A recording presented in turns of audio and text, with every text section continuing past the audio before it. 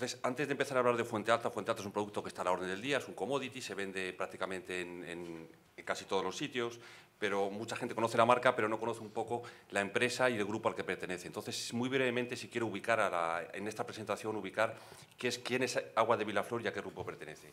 Agua de Vilaflor pertenece al grupo CIO. El grupo CIO es un grupo que se origina hace muchos años en el sector tabaquero, concretamente en la, con la empresa Cita Tabacos de Canarias. Cita Tabacos de Canarias era fabricante de una marca emblemática de cigarrillos canarios, que es la marca, la marca Coronas, para la que yo estuve trabajando durante muchos, muchos años. Es cierto que el sector del tabaco se está poniendo muy constreñido, muy complicado y hubo que tomar una decisión dura, pero, pero yo creo que interesante y era vender la empresa. En el año 2004 se vende la empresa, se vende el negocio del tabaco, que era el más importante del grupo, y surge lo que es el grupo CIO tal y como lo conocemos hoy. El grupo CIO tiene fundamentalmente, tiene varias empresas, pero las principales son cinco, que son las que aquí, aquí recojo.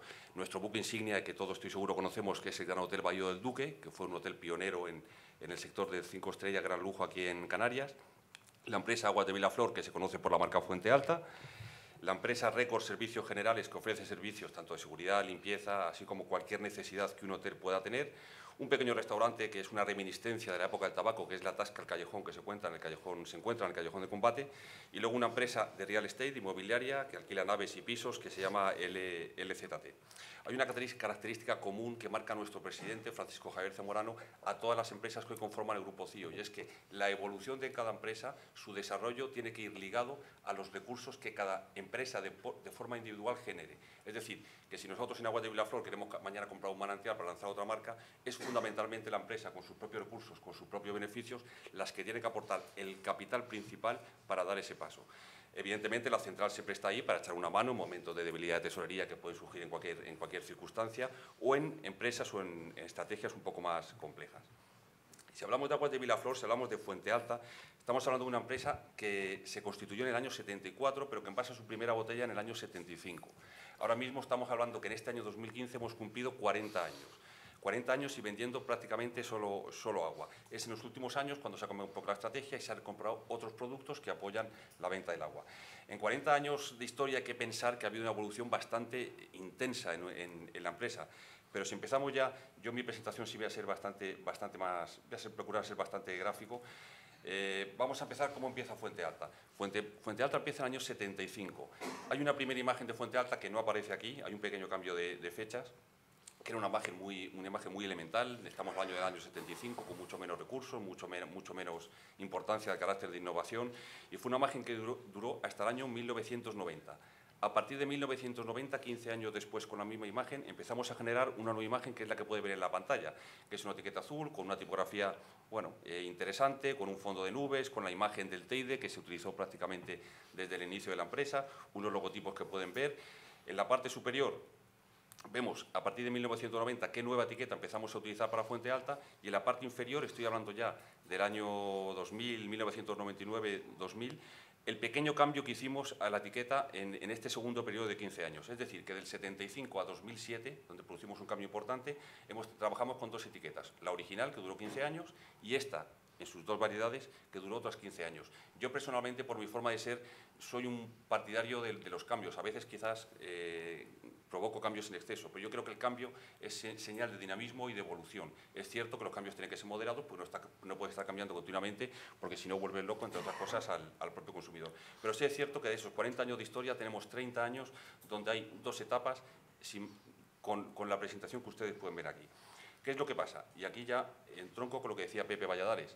Pues bueno, eh, estos 30 años demuestran un cierto inmovilismo, en el año, a mitad de los años 90 aparece un competidor, antes Fuente Alta estaba solo en la isla, pero en el año 95 eh, sale Fonteide. Fonteide es una empresa de nueva creación que se mete en mercado de forma tremendamente agresiva.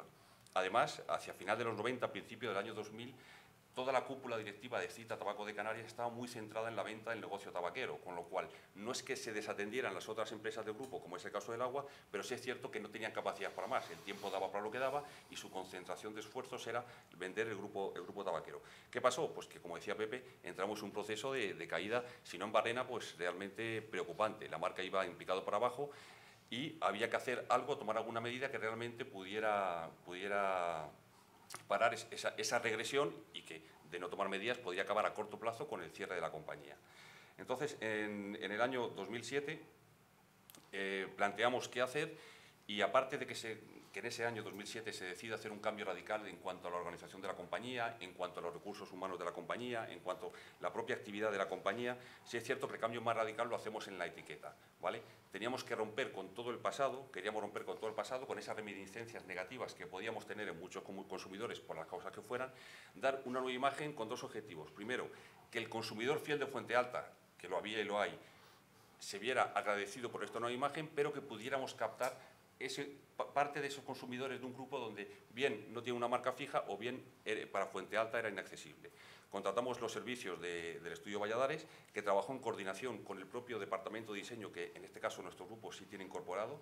Eh, hay un departamento de cinco personas que han trabajado conjuntamente siempre y cualquier cambio que hay, tanto a nivel del hotel como en Fuente Alta, como en la empresa de seguridad, el el equipo de diseño participa de forma directa, a veces de forma independiente y otras veces buscando colaboración externa. La empresa invierte, en función de los recursos que tiene, en cambiar la etiqueta de, la botella. Hasta ahora veníamos trabajando en papel y pasamos a trabajar en plástico. No era novedoso, hay muchas empresas, no todas, pero muchas que están trabajando ya en plástico, pero el plástico te permite una serie de recursos mucho más amplios que el papel. Aparte que el comportamiento del plástico en una nevera es mucho mejor porque soporta los cambios de temperatura, el papel se rompe, etcétera, etcétera. Entonces, nosotros inicialmente lo que pensamos es, bueno, si esta imagen va bien, ¿para qué cambiar? Entonces ahí yo vuelvo a, aparece mi forma de ser, de donde siempre procuro dar una vuelta de tuerca para ver si, con un cambio todavía mejoramos más. Y inicialmente llevamos al plástico, a la etiqueta de plástico, la imagen actual de Fuente Alta, que es la que estáis viendo. Entonces, eh, vemos que queda bonito, el plástico realza mucho los colores, pero que realmente dejábamos de utilizar prestaciones artísticas que el plástico te ofrece. Hacemos un pequeño estudio de mercado, cogemos las marcas principales de agua y otras que trabajaban, no tan principales, pero que trabajan en plástico con diseños muy atractivos y vemos que un componente diferenciador de las grandes marcas, no digo que lo tengan todas, pero sí la inmensa mayoría, es el uso de las transparencias. ¿Vale? que ya no es tan habitual, aparte entre nosotros es un coñazo, ¿vale? O sea, hacer una etiqueta transparente y eso da una cantidad de problemas, nosotros lo estamos sufriendo ahora porque estamos empezando con ello, ¿no?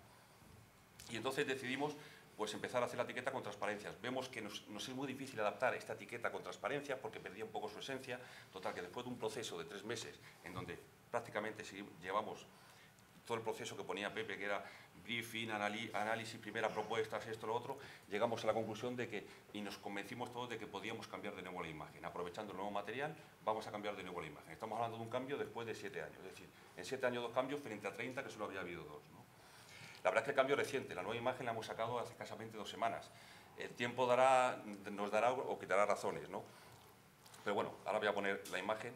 Antes que nada me voy a saltar un tema. Dentro de la parte del diseño yo me estoy centrando mucho en la etiqueta, porque nosotros vendemos un producto que es un commodity, que se colocan 25 millones de unidades al año y no hay soporte en el mercado, ni campaña de ATL ni BTL que te permita tener 25 millones de unidades siempre concentradas, además, casi su totalidad en el mercado de Tenerife, como lo puede pasar también al Ibis o cualquier producto de consumo masivo. ¿no? Entonces había un tema que nos preocupaba y era la botella. En la, parte de la izquierda tienen la botella que utilizábamos hasta, hace, hasta el año 2013. Es una botella donde los michelines, que es como coloquialmente llamamos a las bandas que tiene cada botella, eran más tradicionales, más, menos novedosos.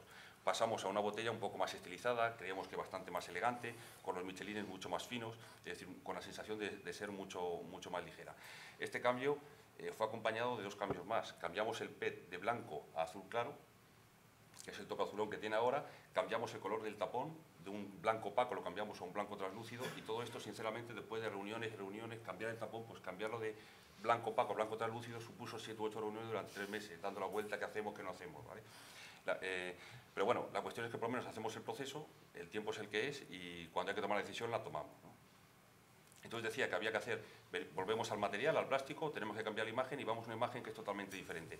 He traído más que nada la simbología, la nueva imagen que estamos utilizando porque en un PowerPoint es imposible transmitir la imagen de transparencia. ¿no?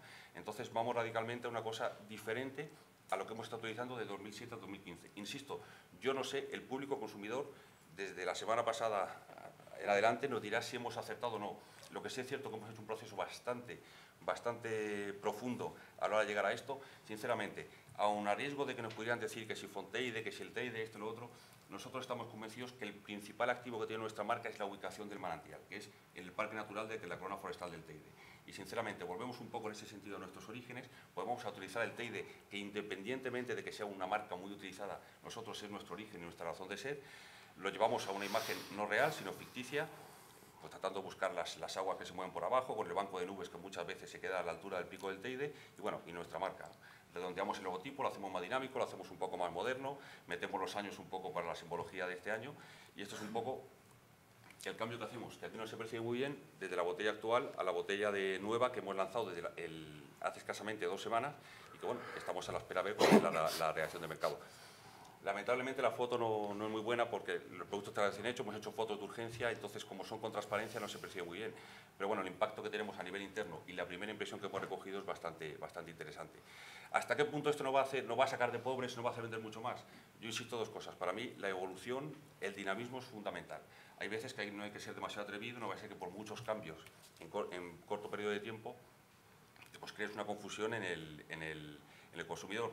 Pero yo entiendo que en este cambio es a mejor porque cambiamos a un material mucho más interesante, mucho más moderno que es el plástico. El uso de las transparencias yo creo que es lo más moderno y elegante que hay hoy en día. Insisto, no es original nuestro, ni mucho menos, pero sí es cierto que es las grandes marcas todas, todas las utilizan y en, eso estamos ahora mismo, en ver la reacción del mercado y ver qué, qué, nos pasa. ¿De acuerdo? Bueno, nada, eso es lo que quería transmitir. Esta es la evolución nuestra. Muchísimas gracias y...